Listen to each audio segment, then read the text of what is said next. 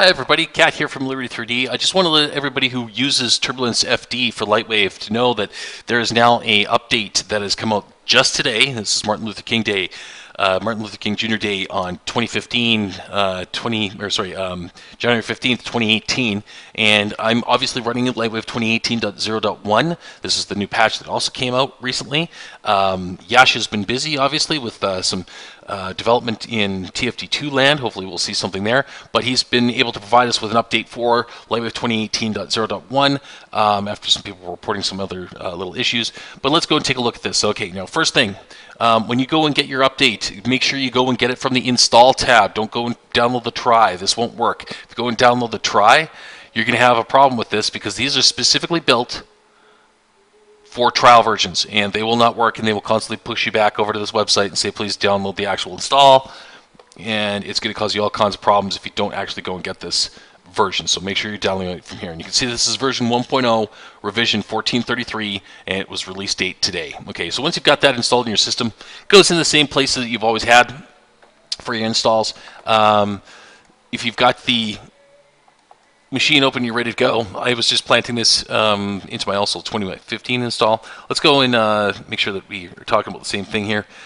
Um, it goes into your Turbulence FD folder above the support folder. Don't put it into the support folder because you'll have problems there. Um, you need to load it from here. Otherwise, you'll get load errors. And it tries to uh, scan some of the files that are in the um, uh, stack here. So it's uh, these files are not friendly to exist under the support folder. Don't put them in there. Okay. Now then, um, once you've got all that sorted out, you should have no problems launching it. And in this case, you just go to enter license or you know, it's licensed to me, good stuff. And make sure that you are physically looking at build 1433. Okay. So, um, just as an example, I'm going to fire up one of the scenes from my recent conventional weapons pack. And I've actually got this simmed out to 55 frames, so I'm just going to go to 55 frames here. And I'm going to give you a warning here. All right.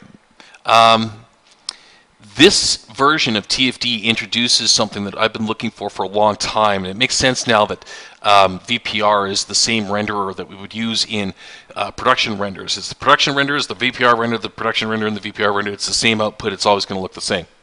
As long as you've got the proper resolution and everything else set, it's going to give you exactly the same results. Um, what you see is what you get is basically what it comes down to.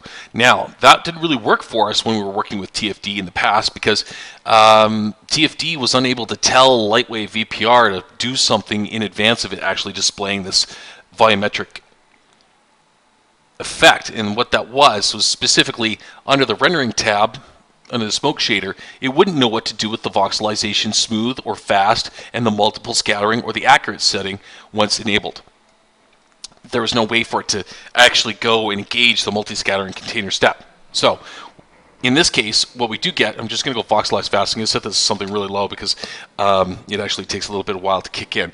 I'm going to go back down to, say, like 10, 11, 12 frames uh, into the animation, and I'm just going to enable VPR, and you'll see that the multi-scattering function actually works now inside of VPR. And this is very cool, but it's also slightly scary because you can very easily get yourself into trouble with this. Um, what I mean by it is that if you go over the mapping and you start to edit this mapping while this is open, good luck recovering your copy of Lightwave. It just simply will just crash, or you'll have to kill it, or you'll just have to wait until it's finished with any adjustment that you make here. If I go and touch this and move it, it will cause VPR to do a constant refresh and you get that volume container refresh. If you're trying to get in there and do a modification to this, you got to be able, you got to disable the um, uh, VPR first, adjust your envelope, and then go back in and re-engage VPR, or else you're going to have a really bad time. Um, I'm going to demonstrate this, uh, and my copy of Lightwave will probably just just bite it. So uh, what we're going to do here is I'm going to just eliminate any type of anti-aliasing, so I can try to get out of this quicker than uh, what I was doing earlier when I tested this. And we're going to go over to the renderer tab. We're going to go to the GI options. We're going to get rid of GI. All right. No kidding. There's literally a parade outside my door. All right. So now that we've got that sorted, uh, let's go and try this. Okay. I'm just going to tap it once. and boom, you're gonna have problems. Okay, so this is a crash. Uh, I'm gonna have to report this to Jascha and uh, obviously uh, the Lightwave group. But um, in my other previous test, it just like ran into the floor. So do not attempt to edit the curves with VPR open, uh, or else you're gonna have a real bad time. Now then, um, a couple of other things. Uh, because the uh, system has changed. Um, in terms of the volumetric renderer. Uh, any scene that you've done from previous is going to load in in a certain way.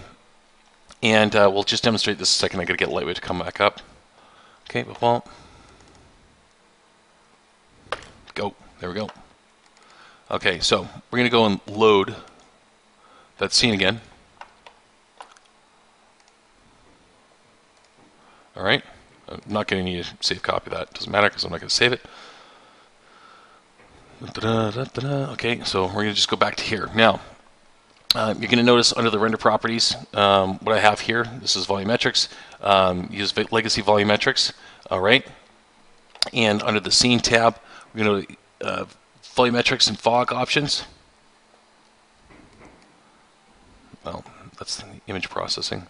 Let's go to legacy volumetrics. This is where the shader tab is, okay? So it is still classified as a legacy volumetric effect. Keep this in mind. All right, because if you turn off use legacy volumetrics, you should probably get nothing in here. See?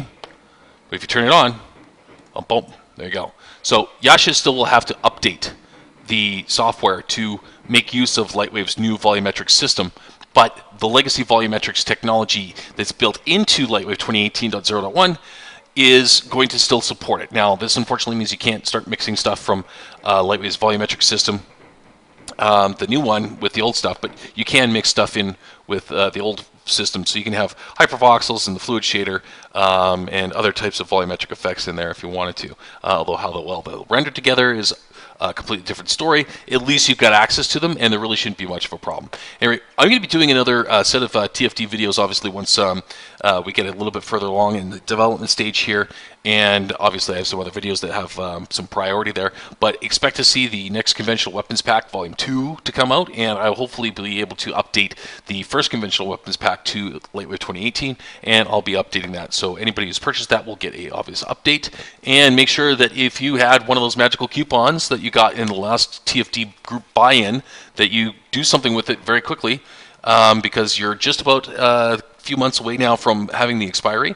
Um, I think it was in uh, April or May we did that buy-in, so um, you've got a couple months still, but you might want to check out any of the titles that uh, uh, I have produced since then or anything you haven't picked up because that uh, coupon will eventually expire. That coupon got you 46% off. That's uh, how many wonderful people bought into that uh, group buy-in. And if you want to do a group buy-in again, um, those of you who missed the first one and the second one last spring, let me know. I'm considering doing another one here, but I want to uh, make sure that that's good with Jascha before I jump in and uh, do this because I know that he's extremely busy. So um, thank you very much for watching, and I'll see you guys very shortly.